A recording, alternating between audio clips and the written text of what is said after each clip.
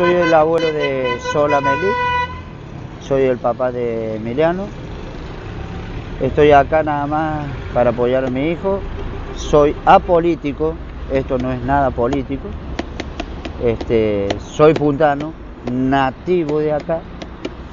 Y a mí me enseñaron de chico que tiene dos caminos, la verdad o la mentira. La verdad usted va a todos lados, la mentira tiene patitas cortas.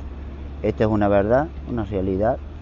El gobierno, así como ha hecho obras importantes, pero la salud en falencia total, en una decaída que no, no, no, no hay retorno, hay que manifestarse. Este, bueno, mi nieta sabrán todo lo que ha contado mi hijo, es verdad. Se complicó peor desde que la trajeron. Estamos pensando ahora, el día que le den de alta de acá, el gobierno le largó la mano a mi hijo, irnos de San Luis, llevar la nena a otra provincia. Y, y como lo dije antes, hoy prefiero irme de aquí, donde encuentre mi San Luis. Yo nací en un San Luis sano, chiquito, pobre, pero de buena gente, de la familia unida. Hoy no hay familia, hoy no hay justicia, hoy no hay nada. Yo lo único estoy acá para apoyar a mi hijo y darle fuerza a mi nieta que está luchando pobrecita por su vida.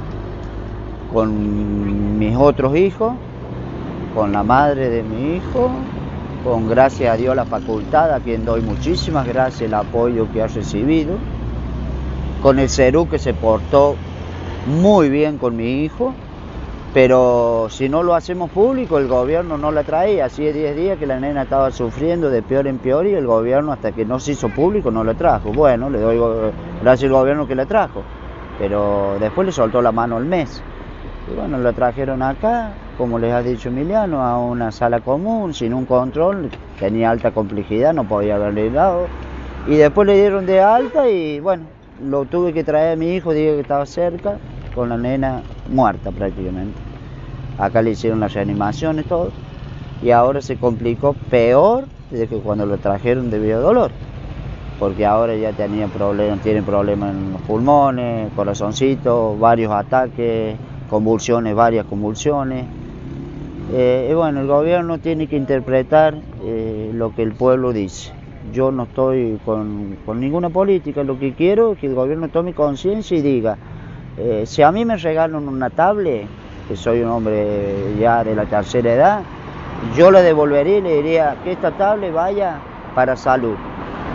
Los médicos son excelentes acá, lo que pasa es que no hay médicos, hay muchos que se van, los mejores médicos, porque se les paga muy poco, yo lo entiendo los médicos de acá.